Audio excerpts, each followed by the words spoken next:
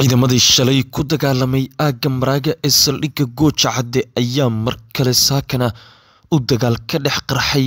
Dagaalkan ayaana ah mid qaraar oo aan waxba la isku reeban isla markaana hubka noocyadiisa kala duwan ay isku adeegsanayaan ciidamada xaq u dirirka ah ee SSC iyo ciidamada nafla caariga ah ee SNM. Waxaana si weyn isha loogu hayaa dhinacyada iyo sidoo kale tillaabooyinka kala duwan ee ay qaadayaan. Ciidamada xaq u dirirka ah ee SSC ayaa ilaa iyo hadda qaaday tallaabooyin dhowr ah oo gebi ahaanba ay meesha kaga saarayaan wax walba oo la xiriira nidaamka SNM iyo sidoo kale dhibaatooyinka kala duwan ee gudaha deegaanada SSC uu doonayo in uu ka sameeyo. Aagga Maraaga ee saldhigga Gooja Cadde ayaa noqotay halka rasmiga ah xabaalaha SNM meesha lagu dhibaateeyo, halka qudha looga jaro, madaxa looga toogto iyo meesha inta badan meydadka saraakiishooda ay uga cararaan. Maraaga ma aha meel sahlan marka loo joogo gudaha SNM, deegaanada Isaaq iyo sidoo kale guud ahaanba goobaha looga arrimiyo ciidamada maamulka SNM. Taas oo ka dhigan in la joogo meel ay adag tahay in ay ka badbaadaan ciidamada SNM marka uu dagaalku sida tooska ah uga bilowdo. Shalay waxaa ka dhacay dagaal qaraar oo aan waxba la isku reeban. Xalay waa la ishor fadhiyey oo waxaa jirtay mar aroornimadii hore madaafiic la isweydaarsaday. Haddana waxaa si toosa uga qarxay dagaalka oo u muuqda inuu yahay mid si walba u saameeyey aagaga saldhigga Gooja Cadde. Ciidamada SNM isku day walba ayay sameeyeen oo la xiriira in aagga Maraaga ay ka baxaan ama aaggaas ay ka dhigtaan waddo ay maraan. Balse marnaba waa u suurageli weyday oo ciidamada xaq u dirirka ah ee SSC ayaa si walba ugaga awood batay isla markaana si walba meesha uga saaray dhammaanba dhaqdhaqaaqyadooda kala duwan. Ciidamada xaq u dirirka SSC ayaana waxay ku jiraan maalmahoodii ugu wanaagsanaa iyaga oo dhammaanba wadooyinkii ka xiray go-doon geliyey ciidamada SNM haddana si toos ah ayay u kor fadhiyaan dhanka Gooja Cadde. Mar walba oo sidaan oo kale ay isku dayaan ciidamada SNM inay madaxa kor soo qaadaanna madaxa ayaa lagu dhufanayaa oo waa laga jarayaa dhigtaa dhiigga loo darayaa oo madaafiic baa lagu garaacayaa Gooja Caddaa la holcinayaa oo si walba ayaa loo dhibaateynayaa ciidamada SNM waxay u muuqdaan in ay ku jiraan maalmo aada u xun. Maalmo dhibaato waa maalmo si weyn madaxa looga jaray. Maalmo saraakiishoodu ay ku dhiban yihiin tallaabooyinka kala duwan ee la qaadayo. Maalmo u noqonaya maalmihii ugu xumaa ee ay soo maraan waxay ku jiraan maalmo muuse biixi uu garan layahay wax tillaaba uu qaado. Faysal cali waraabihii afka xumaana oo si weyn ugu muuqdo in uu ugu fashilmay wax walba uu oran jiray islamarkaana xaaladdu ay ka marayso in nabadda la qaato oo la nabadeeyo deegaanka. Balse nabaddu waxa ay keliya oo ku suurageli kartaa in SNM ciidamadooda ay si la yaqaan ula baxaan waqtiga kooban ee loo qabtayna ay gebi ahaanba ciidamadaas la baxaan taas oo muujinaysa sida ay dhinacyada uga go-an tahay in la qaado tallaabooyinka kala duwan ee wax ku oolka ah iyo sidoo kale go'aamada lagaba maarmaanka ah taasoo ka dhigan in xilli walba iyo waqti walba la qaadayo go'aano kala duwan oo u muuqda inay yihiin kuwo si weyn loogu bawaacdhigayo dhankaas iyo ciidamada SNM ciidamada SNM ayaa dhankooda aan jirin wax tilaabaha oo ay qaadi karaan jahwareer baaxadle ayay ku jiraan saraakiisha ugu badnayd waa ay ka baaba-een balse waxa ay garan layihiin halkii ay aadi lahaayeen tallaabada ay qaadayaan iyo sidoo kale nooca ay u dhaqmayaan. Taasoo ka dhigan in si weyn ay ugu fashilmeen wax walba oo la xiriira nidaamka SNM iyo sidoo kale dhammaanba qorshayaashii kala duwanaa ee uu lahaa.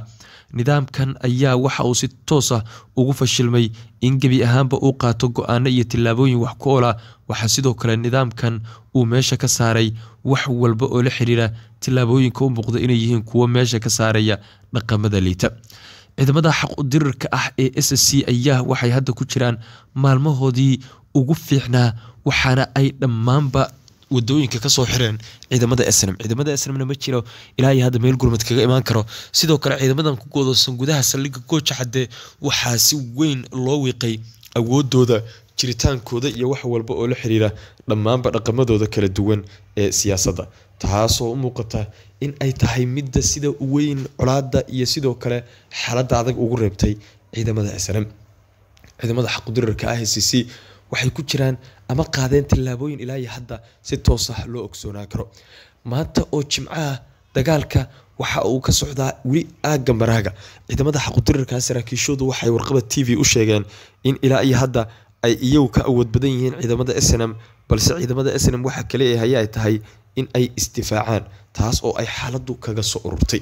Waxayse saraakiishu sheegeen in difaacooda aysan wax badan ka suurageli doonin oo ciidamada xaqudirirka ah ee s c ay si weyn u beegsanayaan goobaha ay ku sugan yihiin ciidamadan meelaha saraakiishoodu ay joogaan iyo goobaha kale ee muhiimkaa arinta ayaana u muuqatay in farahay ka sii baxayso xaaladuna ay tahay mid gaartay halkii ugu darnayd.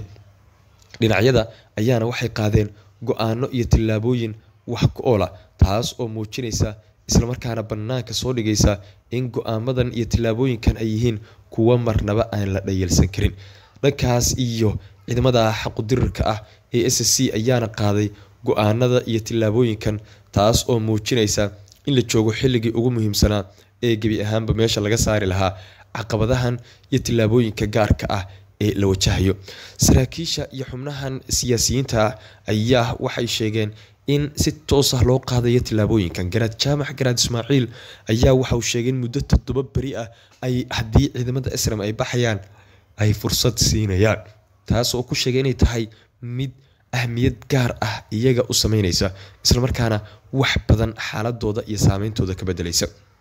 Saraakiisha ciidamada xaqudurarka s c ayuu sheegay inay ka amar qaataan garaadada islamarkaana haddii muuse biixi uu ku dhawaaqo in ciidamadiisa uu la baxayo ay muddo toddoba beri ah. Gebi ahaanba wax walba oo dhaqdhaqaaqa wax walba oo rasaasa iyo wax walba oo lagu dhibaateeya hadeer ay ka joojin doonaan waddo ay u furayaan islamarkaana ay halkaas ka bixinayaan.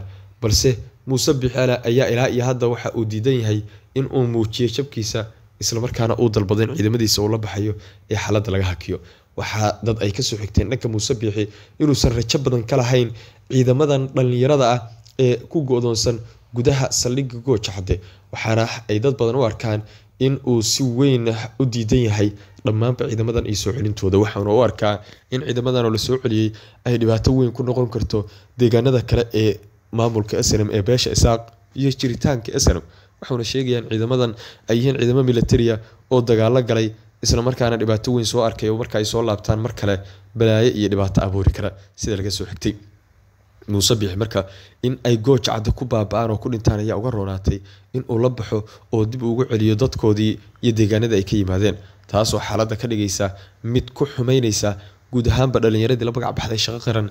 Ee intoodii badnayd ay qeyb dhinteen qeyb dhaawacmeen kuwana ku godoonsan yihiin gudaha saldhigga gooja cadde kuwa ugu nasiibka badan waa kuwa dhaawacmay oo dib loogu celiyey deegaanada beesha isaaq. Taas oo ka dhigan in mar kale ay ehelkooda arki doonaan la midoobi doonaan islamarkaana ay la noolaan doonaan. Balse kuwa dhintay waa ay dhinteen kuwa hadda weli noolna oo aan dhaawacmina waxay ku godoonsan yihiin gudaha saldhigga gooja cadde oo dhimasho ayay ku sugayaan. Maadaama aysan jirin cid doonaysa in aagaas ay ka saarto. Walow aan la ogeyn haddii uu isbedeli doono go'aanka muuse bixi. Warqaba t v ayaan idiin soo gudbin doona wararka soo kordha iyo xaaladda dagaalka